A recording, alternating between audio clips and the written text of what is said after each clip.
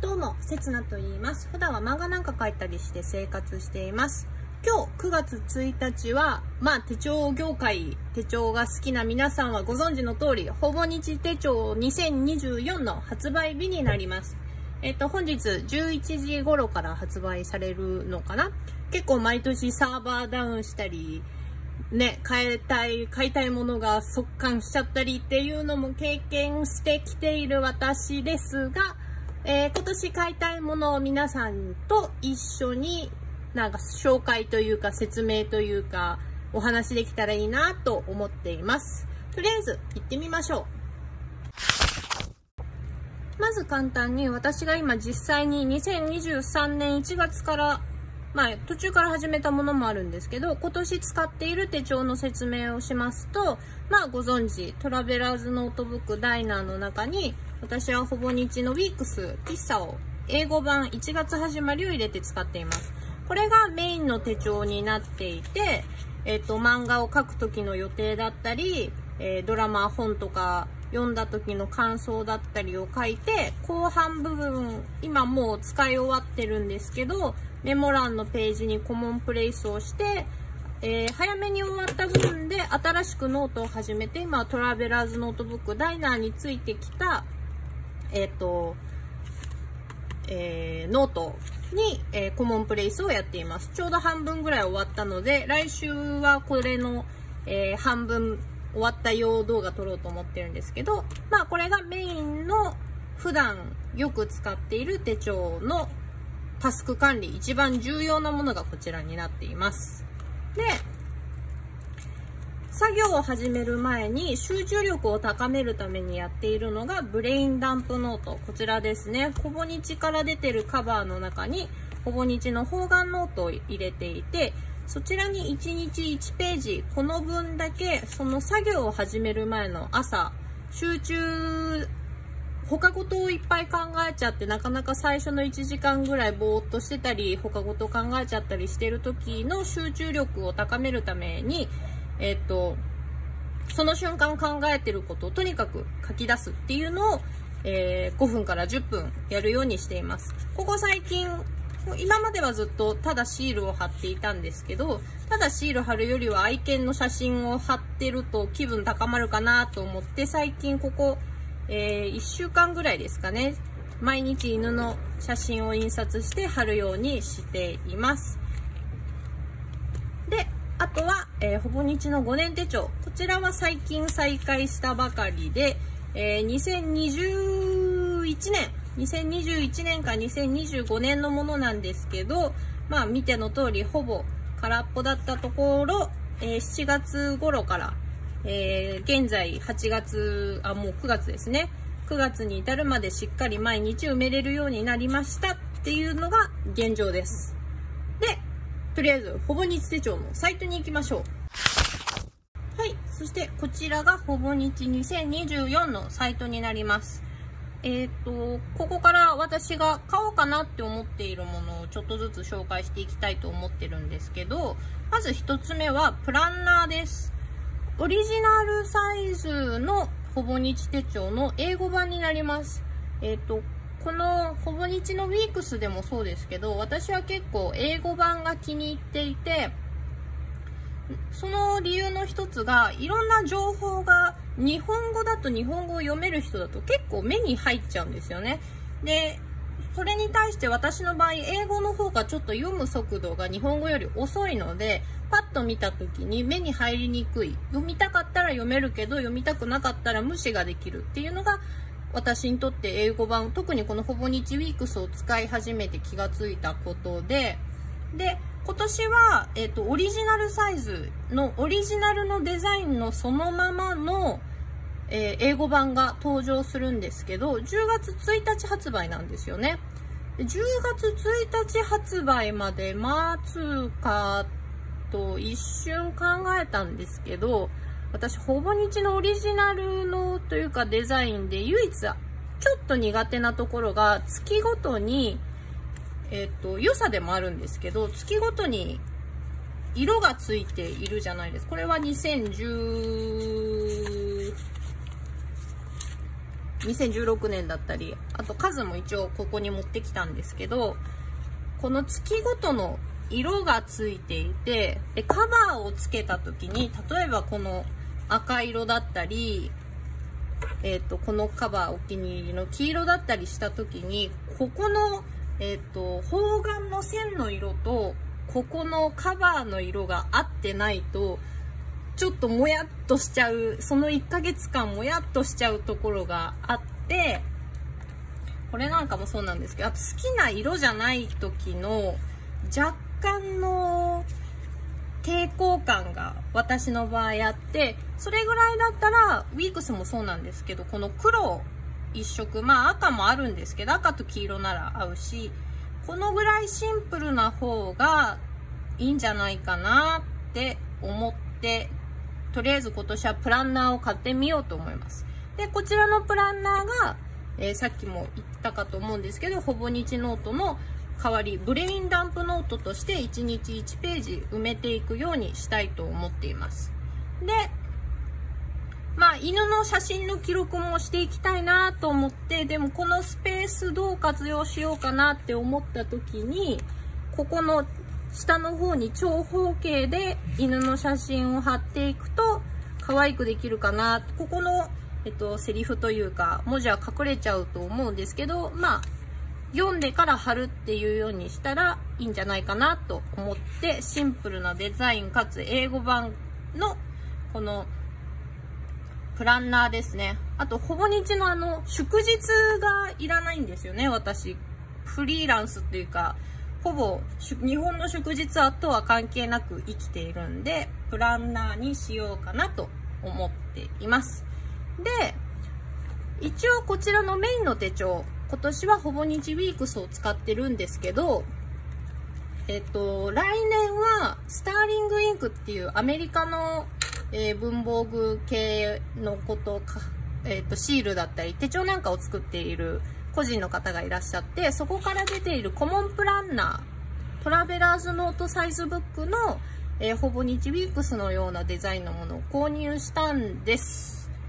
が、えっ、ー、と、もちろん、それをメインに使っていく予定ではあるんですけど、仮にその手帳が好きじゃなかった時用に、ほぼ日ウィークスも一応一冊、使わなかったら使わなかったで、日記とかにしようかなと思っていて、その場合何買おうかなっていろいろ考えた結果、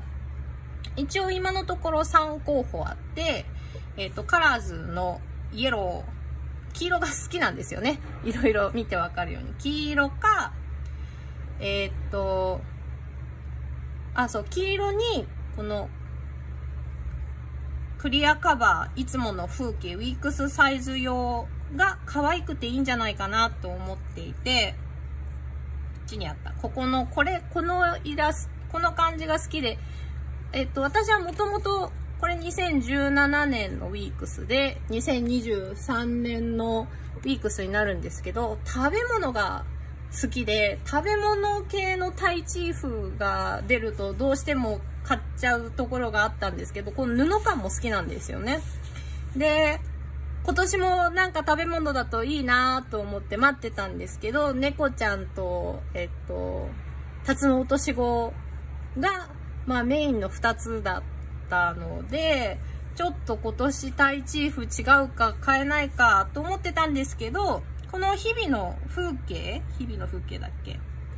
えー、っと、いつもの風景ですね。のカバーが結構私好みの好きな感じの小さな小物だったり、食べ物だったり、こういうデザイン結構好きなので、これとイエローを組み合わせようかなって思っているのが一つの候補で、二つ目は、これですね。えっと、図解でしょうか。はい、支配すみれの、えっと、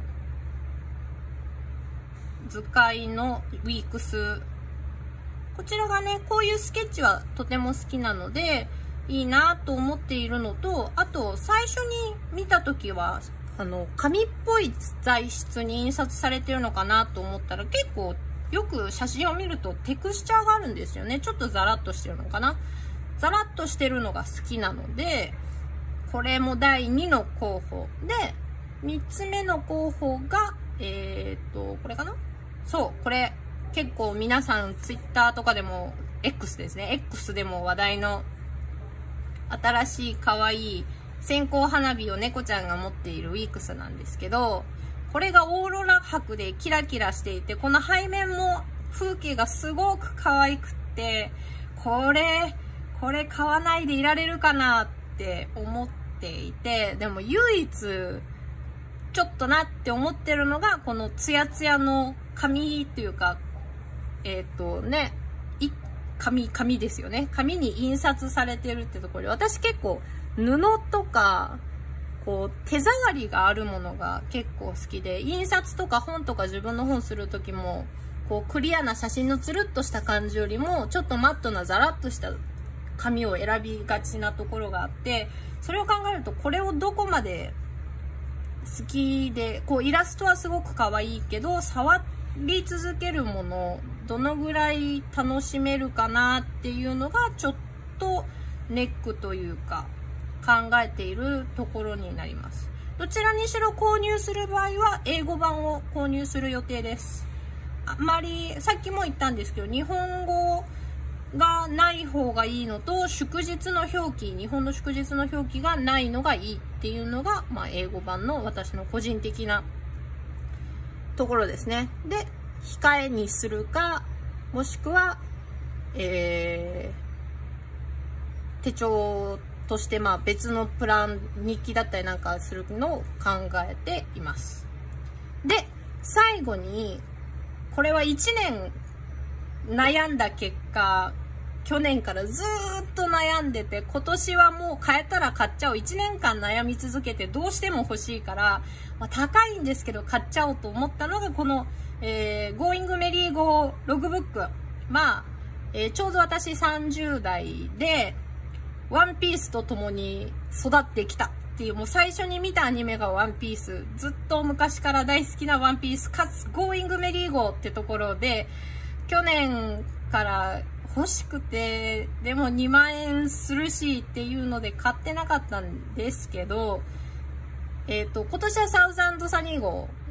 の、えっ、ー、と、こちらの革がクリーム色のものが新規で発売されると思うんですけど、それと見比べた時にやっぱりゴーイングメリー号の方が思い入れがあるっていうのがまず一つ。あと、えっ、ー、と、ほぼ日の5年手帳が、ヌメ革であれなんですよね。色がクリーム色で、